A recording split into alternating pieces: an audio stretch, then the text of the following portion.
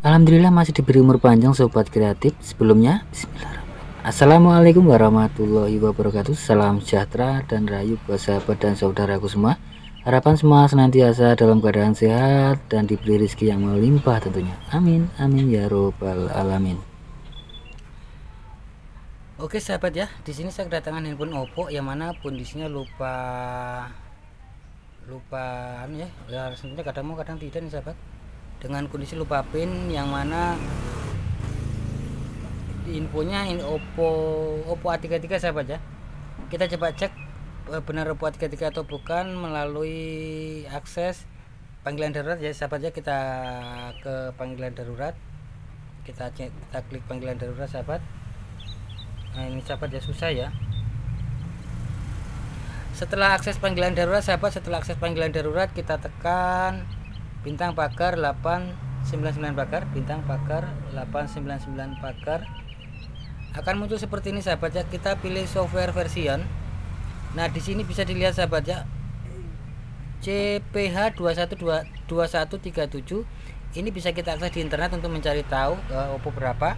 Dan di sini kita lakukan kita matikan dulu sahabat ya. Kita coba cek lewat recovery apakah di recovery bisa kita reset lewat recovery ya sahabat kita matikan dulu.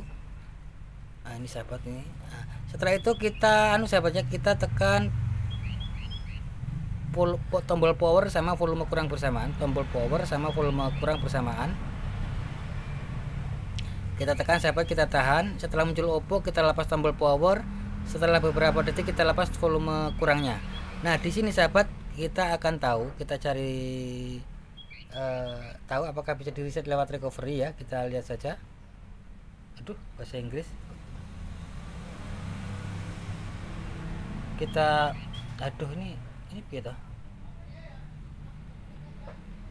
kita WP paspornya tidak ada uh, tidak ada verifikasi sahabat ya. Tidak ada verifikasi paspor ya sahabat ya. Tidak ada ya. Jadi di sini kita coba back dan kita langsung dalam kondisi seperti ini sahabat kita uh, biarkan dulu handphonenya ya. Dalam kondisi seperti ini kita biarkan dulu handphonenya. Kita menuju ke layar monitor sahabat ya. Kira-kira seperti itu. Oke sahabat kita ke layar monitor sahabat ya. Kita anu, yang jelas kalau mau di WP dari sini ada beberapa handphone sahabat ya. Ada beberapa handphone yang bisa di kita lakukan WP e, eh, dari sini sahabat ya. Dari sini e, bisa kita lakukan e, hari set. Tapi untuk tipe ini ya kadang-kadang ada yang bisa ada yang tidak sahabat. Ya kadang-kadang dari versi firmware-nya sahabat. Ya dari versi firmware-nya. Kadang-kadang ada yang di bawah juga bisa kadang-kadang versi firmware di atas malah bisa. Kira-kira kira-kira seperti itu sahabat. Jadi ya intinya kita coba dari recovery tidak bisa kita coba eksekusi dengan PC laptop atau komputer sahabat. Ya kira-kira seperti itu dan kita sekarang coba e, menuju ke layar monitor sahabat. Dalam posisi seperti ini apa, e, biarkan posisi seperti ini sahabat ya karena nanti kita akan dalam kondisi seperti ini sahabat e, kita biarkan seperti ini nanti kita akan manfaatkan untuk mode recovery ini sahabat ya kira-kira seperti itu. Oke sahabat kita ke layar monitor untuk uh, melanjutkannya untuk support dukungan dan berlangganan video terbaru silahkan subscribe dan nyalakan tombol lonceng. Oke sahabat ya. Uh, di sini kita buka device manager terlebih dahulu sahabat. Untuk memonitor handphone terkonek komputer apa tidak ya nantinya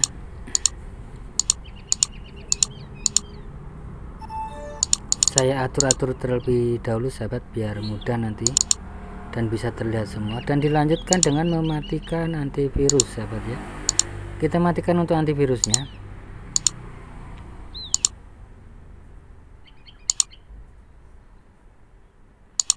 Untuk antivirus bawaan ini kadang-kadang biar dimatikan sahabat masih biar dimatikan itu masih monitor kadang-kadang sahabat ya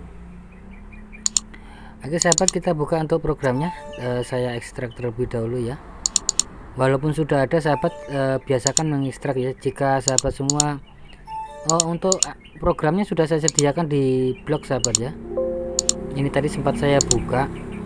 Masih terbuka apa tidak tapi uh, terbuka sahabat ya. Kita untuk programnya sahabat sudah ada di blog sahabat ya. E, silakan download. Insya Allah gratis tidak berbayar sahabat ya. Ini tadi kok tidak mau diekstrak sahabat? Sempat saya buka tadi sahabat ya. Jangan-jangan tidak terbuka karena ada beberapa program yang mungkin sudah kadaluarsa atau apa tidak terbuka tapi terbuka sahabat. Dan di sini saya ulangi. Oke sahabat setelah kita buka klik kanan run administrator sahabat ya klik kanan run administrator sahabat ya. Klik kanan. Nah seperti berikut. Uh, bisa dilihat saya ulangi. Mau di WP bisa dilihat sahabat ya. Uh, minta kode sahabat ya. Tidak bisa ya di WP ya. Jadi ada beberapa kasus yang bisa di dari WP eh, ada virusnya sahabat ya. Bisa dilihat sahabat ya. Sampai Windows saya menyuruh untuk merestart ya saking ganasnya virus jadi kita klik seperti berikut. Jika ada notifikasi berikut klik continuous. Di sini kita ya di sini di WP minta kode tetap minta kode sahabat ya. Dan di sini kita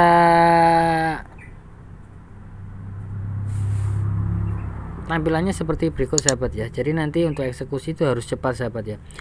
Uh, sewaktu handphone terkonek ke komputer terbaca untuk potnya uh, langsung eksekusi sahabat ya. Kita klik itu nanti ya. Kita klik itu nanti jenis beberapa kali sahabat ya. Kita nah yang saya kasih kotak itu sahabat ya. Itu nanti kita tindis beberapa kali.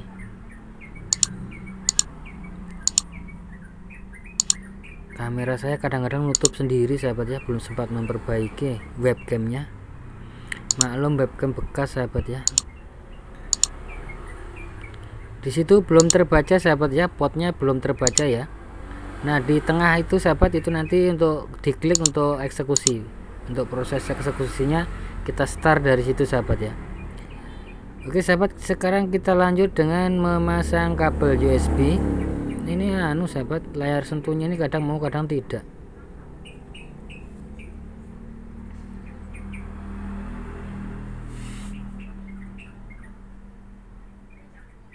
banyak maunya. Kadang layar sentuhnya kadang mau kadang tidak tapi banyak maunya.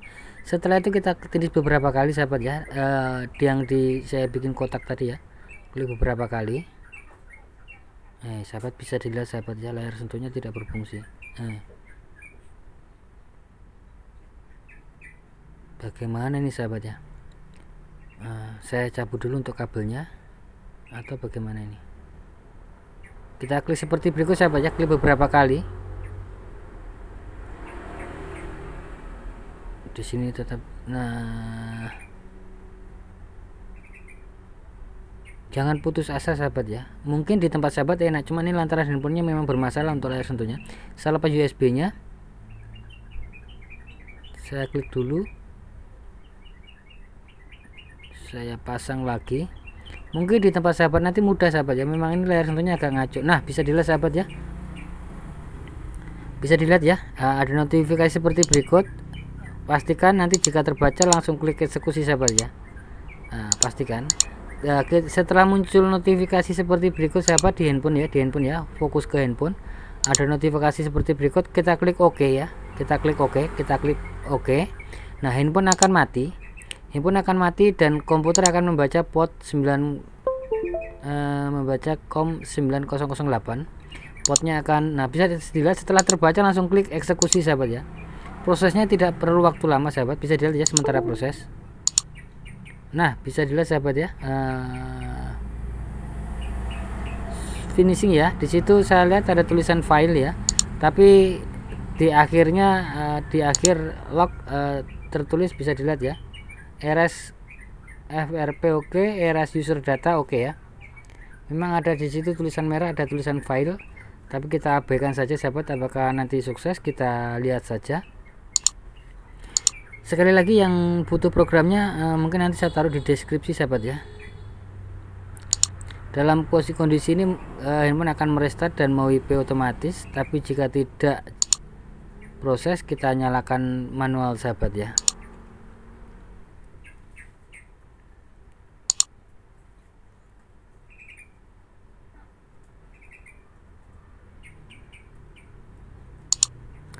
Oke sahabat kita tunggu sahabat ya kita tunggu.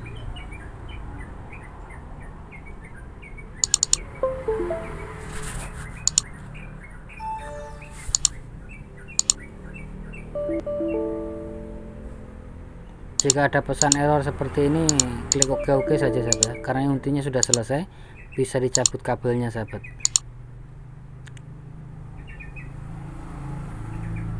Untuk kabelnya bisa dicabut ya. Kita coba tunggu beberapa saat.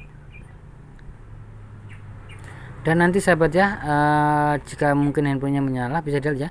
Uh, bisa langsung mendial di bintang pagar 8 eh bintang pagar 813 pagar ya dan setelah itu uh, akan masuk menu. Dan setelah masuk menu sahabat kita tinggal kita tinggal setting bahasa ya karena bahasanya otomatis ke bahasa Inggris. Bahasa Inggris sahabat ya. Nanti kita setting ke bahasa Indonesia sahabat. Setelah masuk menu sahabat ya. Kita coba intinya untuk kasus ini sukses sahabat ya. Intinya untuk kasus ini sukses dan mudah-mudahan video ini ada manfaatnya sahabat. Kiranya cukup sekian dulu sahabat jika ada salah kata, hilaf, mohon dimaafkan. Insya Allah berpanjang nanti bisa berbagi tip kembali tentunya. Buat sahabat dan saudaraku semua jangan lupa bahagia, berbanyak dalam mengucap rasa syukur dan sedekah tentunya. Dan khusus buat saudaraku muslim di mana pun anda berada, sekedar mengingatkan saja mari sama-sama kita perbanyak sholawat dan perbaiki sholat tentunya. Akhir kata akhir salam. Wassalamualaikum warahmatullahi wabarakatuh. Salam creativity.